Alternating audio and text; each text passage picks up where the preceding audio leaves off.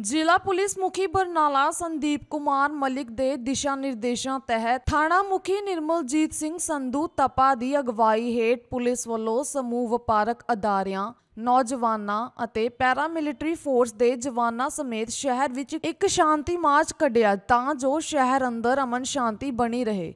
ਇਸ ਮੌਕੇ ਪੱਤਰਕਾਰਾਂ ਨਾਲ ਗੱਲਬਾਤ ਦੌਰਾਨ ਥਾਣਾ ਮੁਖੀ ਨਿਰਮਲਜੀਤ ਸਿੰਘ ਸੰਧੂ ਨੇ ਦੱਸਿਆ ਕਿ ਇਸ ਪੈਦਲ ਮਾਰਚ ਦਾ ਮਕਸਦ ਲੋਕਾਂ ਨੂੰ ਮਾੜੇ ਅੰਸਰਾਂ ਦੇ ਡਰ ਤੋਂ ਮੁਕਤ ਕਰਨਾ ਅਤੇ ਇਲਾਕੇ ਅੰਦਰ ਅਮਨ ਕਾਨੂੰਨ ਦੀ ਸਥਿਤੀ ਨੂੰ ਬਹਾਲ ਰੱਖਣਾ ਹੈ। ਇਸ ਮੌਕੇ ਉਹਨਾਂ ਨੇ ਸਮਾਜ ਵਿਰੋਧੀ ਅੰਸਰਾਂ ਨੂੰ ਤਾੜਨਾ ਕਰਦਿਆਂ ਕਿਹਾ ਕਿ ਜੇਕਰ ਕੋਈ ਵਿਅਕਤੀ ਸ਼ਹਿਰ ਅੰਦਰ ਅਮਨ ਕਾਨੂੰਨ ਦੀ ਸਥਿਤੀ ਭੰਗ ਕਰਦਾ ਪਾਇਆ ਗਿਆ ਤਾਂ ਉਸ ਵਿਰੁੱਧ ਬਣਦੀ ਕਾਰਵਾਈ ਅਮਲ ਵਿੱਚ ਲਿਆਂਦੀ ਜਾਵੇਗੀ। ਤਪਾ ਮੰਡੀ ਤੋਂ ਅੱਜ ਦੀ ਆਵਾਜ਼ ਲਈ ਵਿਸ਼ਵਜੀਤ ਸ਼ਰਮਾ ਦੀ ਰਿਪੋਰਟ। ਮੇਰੀ ਸਾਰੇ ਲੋਕਾਂ ਨੂੰ ਅਪੀਲ ਹੈ ਕਿ ਉਹ ਝੂਠੀਆਂ ਅਫਵਾਹਾਂ ਦੇ ਵਿੱਚ ਅ, ਤੇ ਝੂਠੀਆਂ ਖਬਰਾਂ ਦੇ ਵਿੱਚ ਬਲੀਵ ਨਾ ਕਰਨ।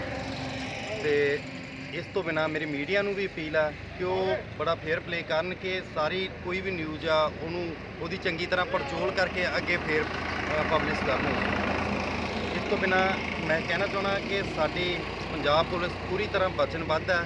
ਸੂਬੇ ਦੇ ਵਿੱਚ ਅਮਨ ਕਾਨੂੰਨ ਦੀ ਸਥਿਤੀ ਨੂੰ ਕਾਇਮ ਰੱਖਣ ਲਈ ਤੇ ਅਸੀਂ ਪੂਰੇ ਤਹਿ ਦਿਲੋਂ ਆਪਣਾ ਇਹ ਕੰਮ ਕਰ ਰਹੇ ਹਾਂ। ਤੇ ਲੋਕਾਂ ਦੇ ਵਿੱਚ ਇਹ ਇਹ ਵਿਸ਼ਵਾਸ ਹੋਣਾ ਚਾਹੀਦਾ ਕਿ ਅਸੀਂ ਇਸ ਚੀਜ਼ ਤੇ ਓਵਰਕਮ ਪਾਇਆ ਹੋਇਆ ਹੈ। ਇਸ ਤੋਂ ਬਿਨਾ ਮੈਂ ਸ਼ਰਾਰਤੀ ਅਨਸਰਾਂ ਨੂੰ ਦੱਸਣਾ ਚਾਹਣਾ ਕਿ ਕੋਈ ਵੀ ਇਹੀ ਜੀ ਗੱਲਬਾਤ ਕਰਨ ਤੋਂ ਪਹਿਲਾਂ ਜਾਂ ਕੋਈ ਵੀ ਝੂਠੀ ਖਬਰ ਫੈਲਾਉਣ ਤੋਂ ਪਹਿਲਾਂ ਸੋਚ ਲੈਣ, ਜੇ ਕੋਈ ਇਹੋ ਜਿਹਾ ਪਾਇਆ ਜਾਂਦਾ, ਉਹਨਾਂ ਦੇ ਉਹਨਾਂ ਦੇ ਨਾਲ ਬੜਾ ਸਖਤੀ ਨਾਲ ਪੇਸ਼ ਆਇਆ ਜਾਊਗਾ। ਕੋਈ ਬਖਸ਼ਿਆ ਨਹੀਂ ਜਾਊਗਾ ਇਸ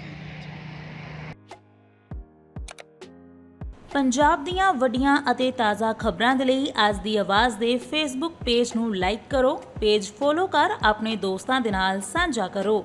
ਦੇਸ਼ ਵਿਦੇਸ਼ ਨਾਲ ਜੁੜੀਆਂ ਹਰ ਤਰ੍ਹਾਂ ਦੀਆਂ ਖਬਰਾਂ ਲਈ ਤੁਸੀਂ ਸਾਡੇ YouTube ਚੈਨਲ ਅੱਜ ਦੀ ਆਵਾਜ਼ ਨੂੰ ਸਬਸਕ੍ਰਾਈਬ ਕਰੋ। ਹਰ ਇੱਕ ਤਰ੍ਹਾਂ ਦੀ ਲੇਟੈਸਟ ਬ੍ਰੇਕਿੰਗ ਖਬਰ ਲਈ ਸਾਨੂੰ ਤੁਸੀਂ Instagram ਦੇ ਉੱਤੇ ਵੀ ਫੋਲੋ ਕਰੋ।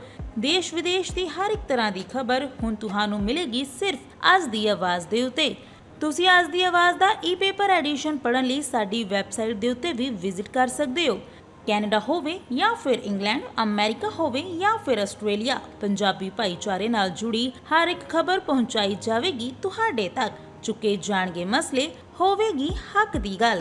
ਗਰੀਬਾਂ ਅਤੇ ਪਿਛੜਿਆਂ ਦਾ ਇੱਕੋ ਇੱਕ ਭਰੋਸੇਮੰਦ ਨਿਊਜ਼ ਚੈਨਲ ਅੱਜ ਦੀ ਆਵਾਜ਼।